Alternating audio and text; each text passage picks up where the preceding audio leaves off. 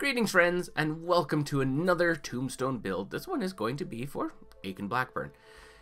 You're going to need a piece of styrofoam 4 inches tall, 15 by 24. You can use 2 inch styrofoam, but I wouldn't go much thinner than that. Now, now below you're going to find the file that you need to build this whole thing. And it's really straightforward. You're just going to print out these three sheets and you're going to find that there's going to be bullets on them. They're these bullseyes right about here.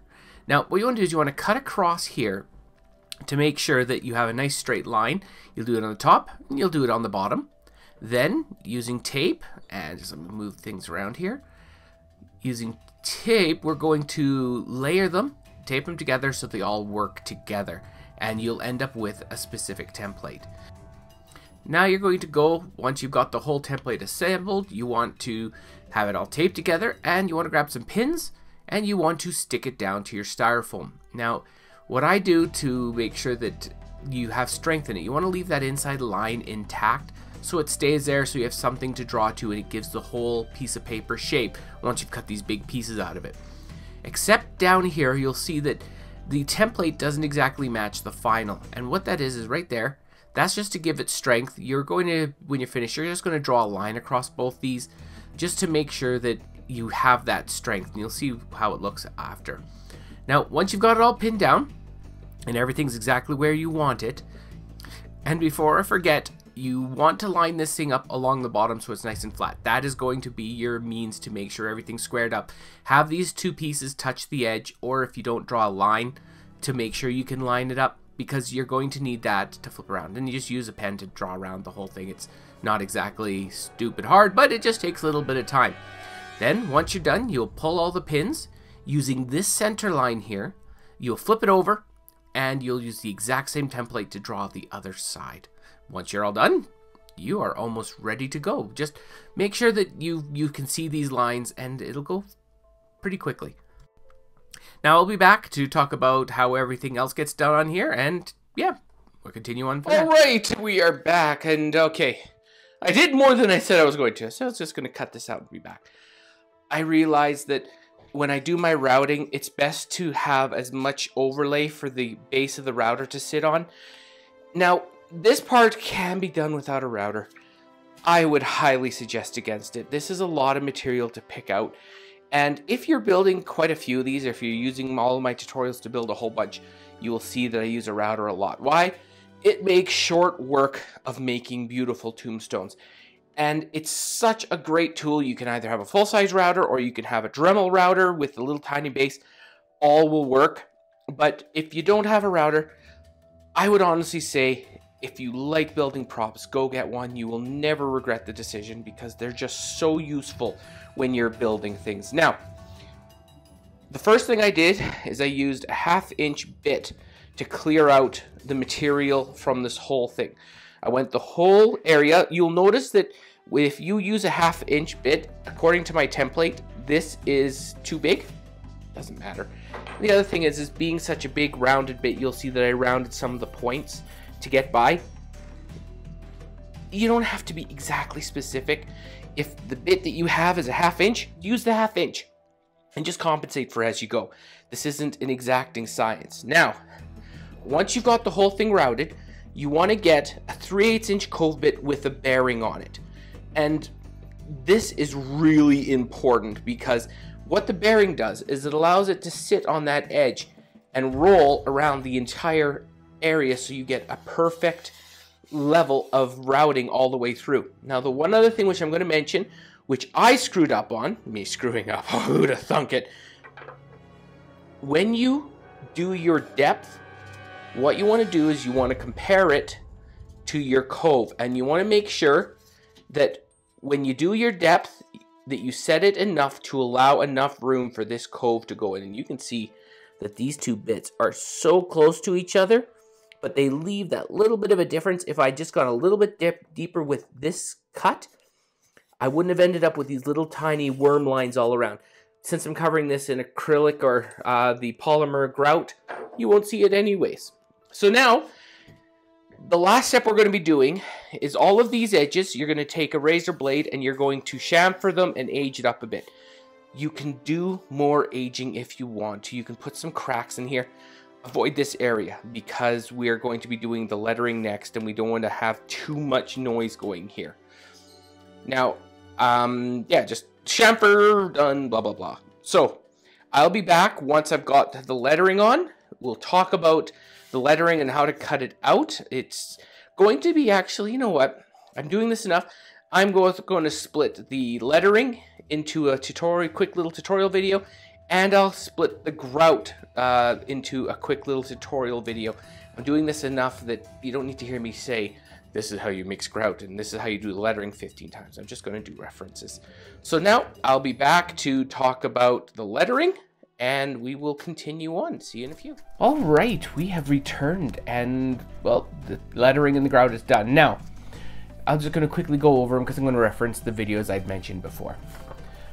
On the file below, you'll find this, which is your outline file that's sized perfectly for this tombstone. So what you do is you lightly cut it out, spray glue it on, cut it out as per the video right there. It'll tell you how to go about doing it and it saves time on doing it on this video so it doesn't end up like, you know, an hour and a half long. Now, the next part is once you got all the lettering done, you're going to be doing the grout.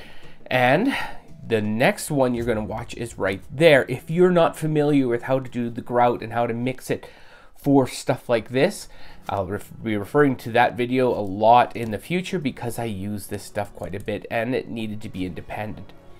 Now, once you've got to this point and you've got your nice thick coating of grout on here, you can make this as thick or as thin as you want. This is about one coat, but I did it pretty thick and you can see that it adds detail that it's a neat look. I really like how this stuff turns out, and you can see it.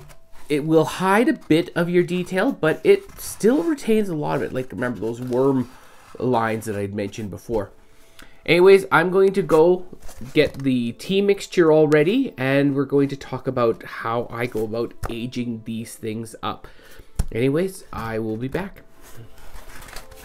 So we were going to be going from this unfinished grout to something that looks more like this. And how you do this is really up to you and how much you want to put on. So the first thing you're going to need to do is you're going to need to get some tea. Now, I usually mix about mm, eight tea bags to a liter of water. But whatever you don't use, you either have to refrigerate or throw away because this stuff will mold if you leave it in your bottle. Don't know how I know that, I just do. Now, this is a, a dollar store pressure sprayer. I normally did it with the squirty squirty bottle. I love this thing. You bring it up to the pressure and then you just squirt. Now, how do I get to this level here is up to you. So the first thing you see that if you look really closely here, there's multiple levels of paint here or stain. Now what I do is I usually hit the whole tombstone once with the stain just to get, you know, if you don't get it exact, that's okay. But what I do is I usually cover the whole tombstone at least once to get rid of that flat gray color. And then what you do is, this takes a while because this takes a while to dry. Then once you're done, as you can see here, once it's dry, then what you do is you go back and you spot hit it. Certain places just to emphasize some more stuff. And then you'll see how there's a drip down here. Once that second coat was done, I sprayed a whole bunch up here and let it just drip down. And what it did is it gave a very natural look. Now what's going to happen is this is going to sit, it's going to dry, and then the tone we're going to have is going to be more like that tone right there, rather than this tone right here. Anyways, I'm going to let it dry. I'll be back to talk about the final step, which is going to be the black aging. I'll be back. As you can see, between the last part of the video and this part of this video, winter hit yeah, my Halloween was this. Urgh. Anyways, the uh, you can see now that the patina on the tombstone looks really good. You keep on putting on layers of tea until you get it to where you like it. I like this where it is now, and now we're going to do the final part of the aging. Using a black wash, and you can see here that when I spray it on the ground, you're looking about a tablespoon of black paint to about a half a cup of water, a little bit more. Mix it up to the point where you feel good. And then all you do is you just catch it. You don't want to be consistent. You want to hit it all over the place, a little bit more some places than the others. Now, you want to hit the bottom more than the rest of the prop because that's where the majority of the aging will be. You let it dry, then you come back and you check it over and you go, oh, it looks good. And you keep on doing layers until you're happy with it. Anyways, I'll be back. We are down to the final aging and finish on this. And as you see, it's kind of got a lot of moss on it now. This is such a simple way of aging up a stone. And even being outside, this stuff is going to last forever. If some of it falls off, you just glue some more back on. Anyways, the two types I used was, uh, there we go, some Spanish moss. I think a Spanish moss, that's what I think it said. And this is at the dollar store, and then just some floral moss. I would like to have this to been a little bit darker, but they didn't have it on hand, and I'm cheap. So, I used what I could here, and you know, there was some brown parts in there, but how do you stick this on? This is a fun little trick. Right here, you will see that I have some removable weather stripping sealant. This stuff is brilliant. A, for sealing up drafts in your house if you happen to have one. But other than that, the actual silicone itself comes out almost like half-dried rubber. And then what you do is you just put this, stick it on, you push it down, and then you push the moss into it. This stuff is so workable and it's silicone, so it's not going to ever break down because like glue can if it gets water on it. This won't. So once again, removable weather strip sealant. Freaking amazing stuff. And even better, it dries clear. Anyways, that's it. We are done Aiken Blackburn. Yes! And I'm going to go outside. I'm going to record it and put it with the haunting story at the end here. Regardless, thanks so much for tuning in. You'll probably be seeing a few more of these throughout the year, but not as frequently as I've been making them just recently. Now, if you like the video, please like. If you are one of the many people who watch my channel and don't subscribe, hit that little subscribe button. That'd be really appreciated. Regardless, I hope everyone had a good Halloween whenever you happen to watch this, or if it happens to be closer to Easter, I hope you had a good Easter, or whatever holiday you happen to be near. Regardless, thanks for hanging out all, and have a good one. Enjoy the story.